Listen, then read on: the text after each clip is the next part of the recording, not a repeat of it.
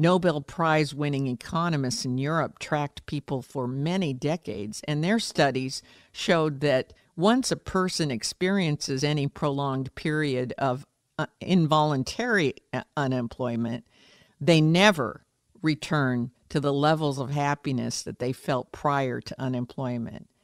And the degree to which people feel less happy is much more severe for men than women. When you think about it, something like COVID occurs and we shut the e- uh, economy down, and there's a long tail effect. That means that when people can go back to work, they will never be as happy as when they were forced into unemployment. Um, and and that never goes away. That that that's a that's a sobering fact. That's a that that's a lifelong sentence. So along those lines, what is the long tail effect on men and unemployment and the isolation brought on by COVID? Oh yeah, it's just COVID just exacerbates all these problems that we've talked about.